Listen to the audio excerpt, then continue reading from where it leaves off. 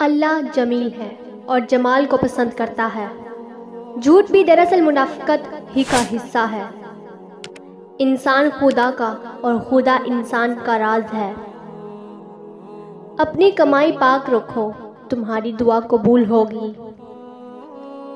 सच्ची और मीठी बात भी एक सदका है।